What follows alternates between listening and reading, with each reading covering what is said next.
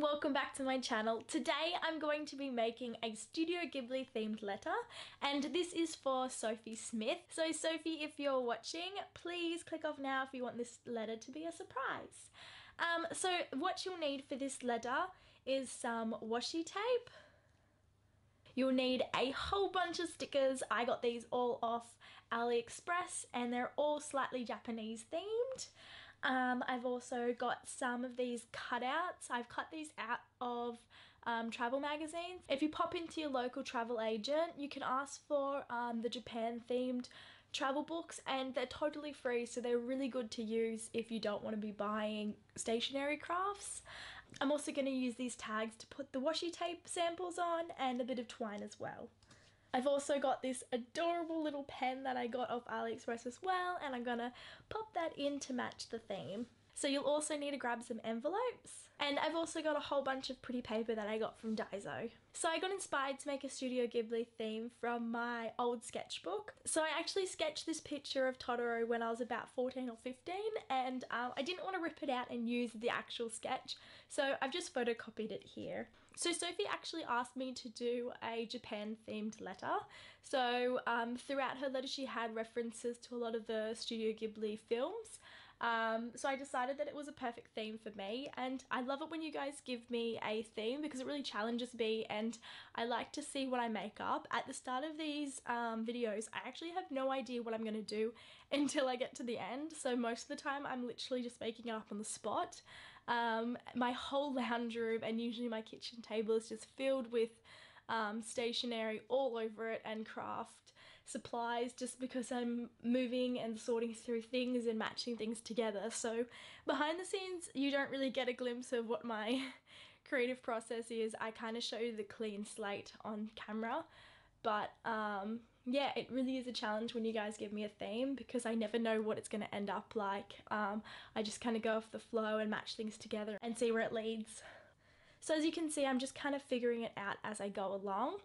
Um, and I decided to kind of keep it really simplistic. I didn't want him on a really colourful picture and um, I put a little bit of writing around and then I thought it was just still a little bit too plain um, so I've popped some washi on there and some stickers to brighten up and make it look like it is like a little collage that you can either frame or just keep or pop it in a little scrapbook or whatever you do with your pen pal letters.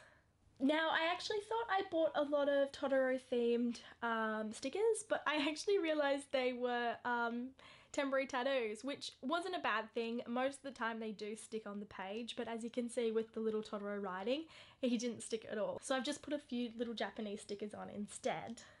So the next thing I'm creating is this little pocket flip book. So I'm not actually sure what people call it. I'm just going to call it an envelope flip book because I don't know what the right term is. So I've just started on the outside decorating first and um, it just gives me a feel of what I want the theme to be.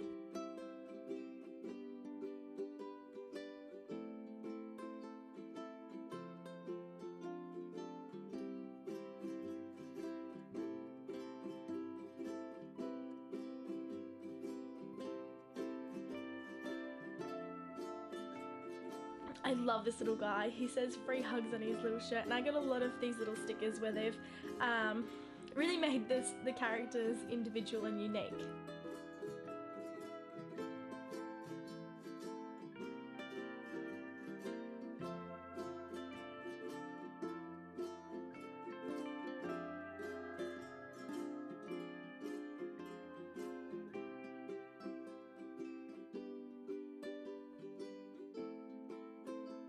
So on the inside I've popped again some prints that I've cut out from a travel magazine. Again these are just free magazines you'd grab in your local travel agency um, and I really recommend it because it is a free source of getting images um, and you can do a lot with it if you are traveling or you're just scrapbooking for even for your own country. If you're going to be sending um, pen pal letters it's also a great way if you want to show other people what your country's like because it's got fun facts and it's um, got all the main icons on the inside I've just kind of made it look like it's sort of like a little travel album So I'm just making sure that the pictures don't stick to the envelopes just because I do want them to turn into a little pocket. Now I'm just popping down some little notes so she actually recognises that they are little pockets and I'm popping some little goodies in each one of them. So the first one is these beautiful little Japanese themed stickers.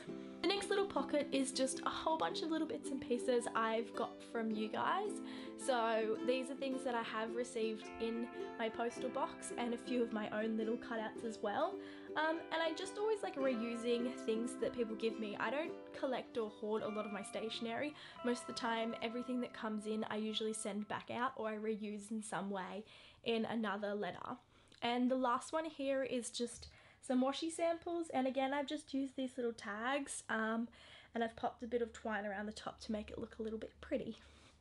These three washies are actually my favorite washies. I use these all the time um, and I've used them a lot more lately because I am creating my little travel journal for Japan. In the next few days I will be uploading my travel journal setup and itinerary so I'm really excited to show you guys and have used this washi tape so much throughout that video.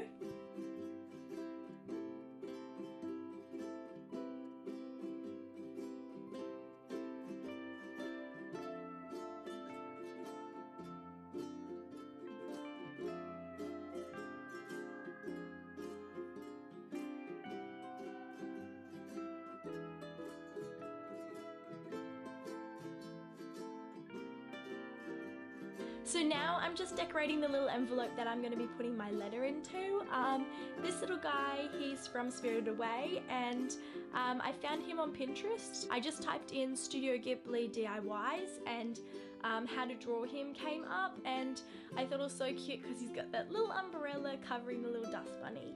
So I love him so much and he's super easy to draw. You don't have to be an amazing drawer to um, perfect this. And now I'm just going to be decorating the letter as well. So I don't usually decorate my letters but I thought it'd be really fun today to decorate this one because I got new writing paper and it's very simplistic and I wanted to jazz it up with some cute little stickers and some washi tape. So this silver washi tape I'm pretty sure was from my sister and I love it in combination with this blue one and I got the blue one from a pen pal as a little um, sample and I run out at the end of this video so I'm so sad I'm gonna have to try to find this washi online because I really like it. Um, as you can see I'm just following the theme of just the two washi tapes um, put on top of each other and then the few little stickers quite minimalistic just to decorate it and make it look pretty. And lastly, I've just got this little fat guy from Spirited Away again. I thought he was so cute, so I had to pop him on top. And I love those little 3D stickers as well. So that's all for today. So I hope you guys enjoyed this video. Thank you so much for watching. Don't forget to subscribe to my channel and give this video a big thumbs up if you like it because I'll keep doing themed uh, mail for you if you guys enjoy it. Um, so thanks again and I'll see you guys next week. Bye!